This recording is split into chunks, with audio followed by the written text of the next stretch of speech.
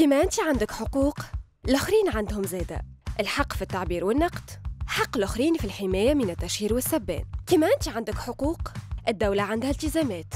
حق الموظف والعامل في الإضراب الالتزام بتقديم الخدمات العمومية للمواطنين. الحقوق والحريات عمرها ما كانت مطلقة وبلاش نظام وضوابط وقت تقابل حقوقك مع حقوق الآخرين والتزامات الدولة تتدخل السلطة وتتخذ إجراءات باش تنظمهم وتضبطهم. أي. وين تبدأ حريتي؟ وين تقف حرية الآخرين؟ كيفاش ناخذ حقوقي ونحترم حقوق الآخرين؟ ناديت لي مبدأ التناسب هو الآلية القانونية اللي يستعملها القاضي باش يحاول يضمن حقوق الناس ويحمي لهم حرياتهم. في البداية يثبت القاضي إذا الإجراء يحترم القوانين والنصوص اللي أعلى منه خاصة الدستور من جهة وإذا الإجراء ما يمس الجوهر الحق من جهة أخرى. إذا كان يحترمهم يولي يثبت.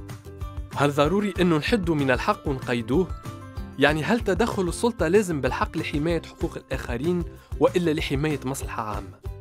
هل أنه الإجراء ما عندوش بديل؟ ما فماش طريقة أحسن باش تنظم الحكاية يعني أقل ضرر على الحقوق؟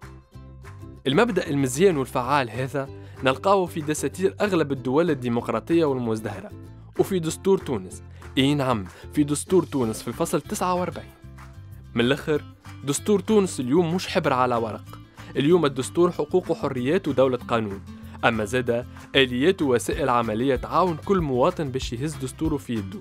ويمشي للمحكمة مع الفصل 49 ومبدأ التناسب.